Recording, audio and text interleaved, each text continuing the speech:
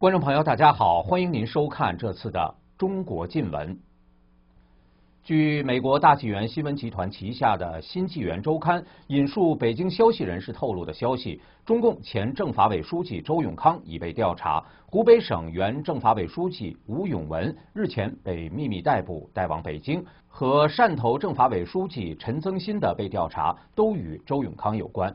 海外博讯网三月二十号也报道说，吴永文的案子牵扯到公安部领导与前政法委书记周永康。虽然周永康已认错并决定永远不再抛头露面，但他过去两年利用政法委敛财、利用经济案件打击对手、收受贿赂以及对付异议人士的残酷做法，仍然让稍有良心的人士都深感不安。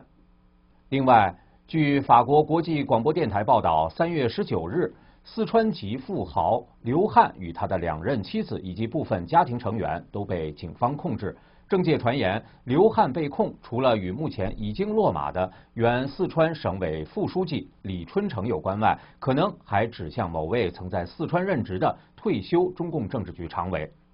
刘汉目前控制四川汉龙集团有限公司，是一家广泛涉足清洁能源、资源开发、基建。高科技、环保产业和跨国投资等领域的大型民企，规模达到二百亿。报道说，刘汉经营风格很受争议，多年来也有很多他涉黑的传闻。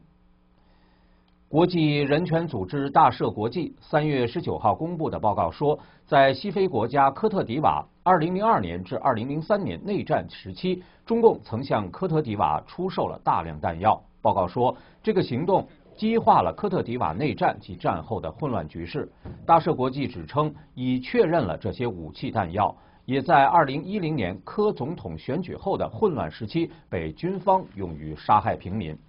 中共向科特迪瓦大量出口的是步枪用子弹，估计这批弹药近年在科特迪瓦政府军的同型号弹药中占了百分之三十。